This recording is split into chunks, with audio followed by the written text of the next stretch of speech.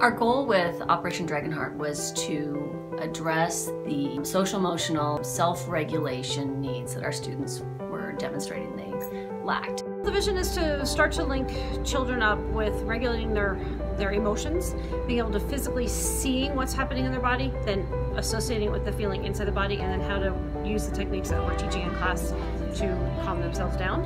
In collaboration with implementing um, daily lessons, learning about their brains, how to calm themselves, how to self-regulate, we decided we needed some kind of way to monitor that and give them a little visual representation of what might be happening to them in the moment and that's exactly what IHT does. They check out the watch from my office first thing in the morning and then they check in the watch um, with me at the end of the day.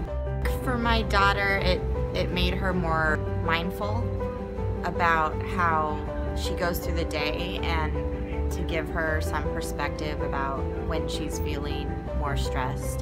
There's been a lot of buy-in from both the students and the staff. So you'll have teachers who will ask me to can you look at a student's graph for a particular day or for a particular time of day? I noticed some heightened stress through the day or a particular behavior that was happening that was unusual for them.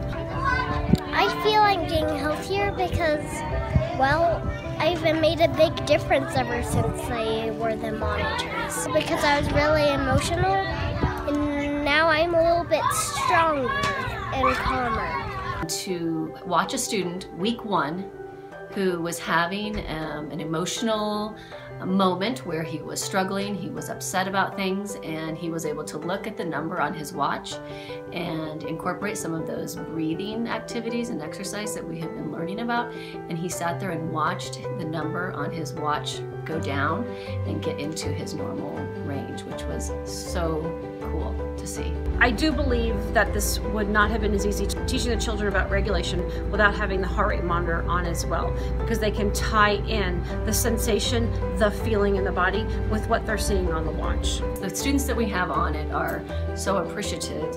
We have several parents who, some of them are in the mental health field and um, they've even emailed the superintendent saying, you know, all schools need to be doing this. And so it's good to hear that they feel like this is the right work and the right thing for their kids.